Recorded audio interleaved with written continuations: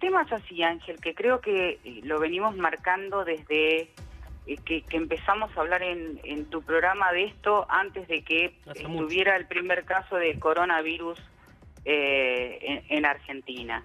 Que empezamos a marcar las medidas de prevención y algo que, que siempre marcamos es el tema de que esto es dinámico. ¿Por qué es dinámico? Es una pandemia. Médicamente sabíamos, sabemos lo que es una pandemia. Pero ¿cuál es, ¿cuál es el problema? Es un virus nuevo. Que todos los días nos estamos eh, enterando de información nueva. Que sería eh, muy loco y lo que tenemos que hacer es llevar tranquilidad a la gente. Si volcamos continuamente en los medios de comunicación, hacemos competencia de papers a ver quién tiene más papers leídos. Entonces, hay medidas que inicialmente, eh, de lo poco que se sabía del virus, se daban como bajada general por las organizaciones, por, el- por ejemplo, la Organización Mundial de la Salud, OPS, OMS. Eh, conforme va avanzando esto, se están aprendiendo cosas nuevas del virus.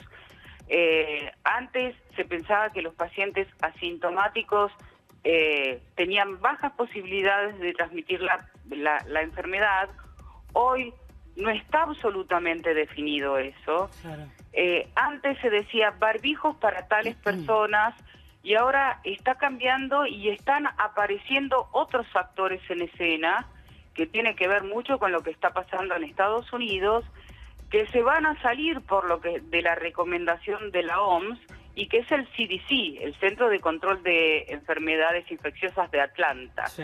que digamos es, es un referente internacional para lo que son las enfermedades infecciosas. Y ya salió la noticia hace dos o tres días, creo, en el Washington Post, que un off the record del CDC, que le van a recomendar a toda la gente el tema de eh, la protección de todo lo que es la parte de nariz y boca. Ah, Eh, O sea, ahora sí. ba- barbijos. Sí, n- no solamente dice que los barbijos hay que dejarlos, ayer el- creo que el artículo lo, lo replica Infobae, así que después Sí. se los paso si quieren para leerlo, que no los eh, barbijos que necesitamos, porque el problema de salir a comprar todos barbijos es que los que tenemos que trabajar eh, en contacto con los pacientes no tenemos cómo protegernos. Entonces, eh, que de alguna manera ¿Qué estén cubiertos. puede haber? Y al dice, por ejemplo, eh, lo- que dice el artículo de The Washington Post, del que dijo eh, el de CDC, cobertura con bufanda, eh, con pañuelos, eh, eh, fuera del barbijo quirúrgico tradicional. Claro. Y una cosa muy importante, anteojos, porque el virus también entra por los ojos. Claro, Sí. claro, claro.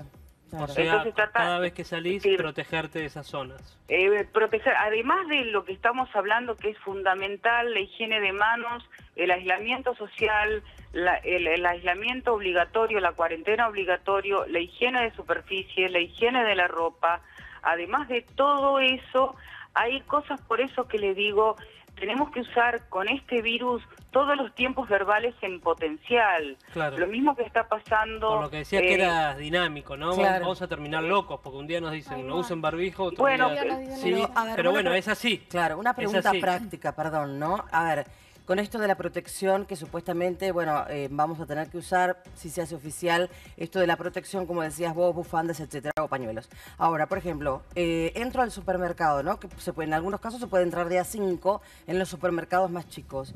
El virus, ¿cuánto tiempo está en el aire de aquella persona que entró antes que yo o... A ver, eh, ese, ese es otro tema, el tema de cuánto perdura el virus en el aire, y ya nos este, entraríamos a ver, discutir teorías del que escribe en la New England con el que No escribe en el, de, en el de Lancet. Entonces, no se sabe, que sí se sabe Sí. que vos tenés que mantener una distancia con el que estás por lo menos de metro y medio, por lo menos de metro Sí. y medio Por mínimo, mínimo. Ahora, mínimo de, de- metro y medio. Entonces, Sí. eh, la distancia es muy importante. Es muy raro que alguien que tenga eh, el saber cómo toser en el pliegue del codo para no an- andar escupiendo a todo el mundo. Entonces, si vos me preguntás a mí en una cuestión práctica, ¿dónde se produce el tema en el supermercado? Sí. En la caja. Vos no Claro. estás un metro y medio de la cajera. No. Que le Eh, das no. el dinero No. Y, y- o que le das la tarjeta de crédito. Es Estás a. 20 centímetros. Ujú. Podrían Bueno, haber- y ahí- además- ahí, además se podría dar si la chica Entonces, está es estornuda personal mientras cuando- vos estás pagando, No, pero- quiero decir, ¿no? Claro, No. cuando hablamos de personal esencial, el, el laburo que están haciendo en los Es supermercados, tremendo. que, que están expuestas, yo antes de que empezara esto, se imagina que La Barría es una ciudad chica y uno establece vínculos eh, a los Claro. lugares que vas, Claro, porque vas siempre al mismo mismo, supermercado, a la misma farmacia. Yo le enseñé a los chicos, le hablé con el, le- le- le- con el, el encargado del supermercado, le digo, mira, esto lo tenés que hacer así, esto lo tenés que hacer acá. Lo mismo hice en mi edificio, que por suerte tengo vecinos que son amorosos, que nunca me pondrían un cartel Claro. de que les voy a llevar el virus. Qué Eh, sí. Es tremendo lo que pasa. Eso es Tremendo. tremendo lo que pasó. Yo escuché, eh, un poco para, para sumarme a esto que preguntaba Andrea, lo escuché al doctor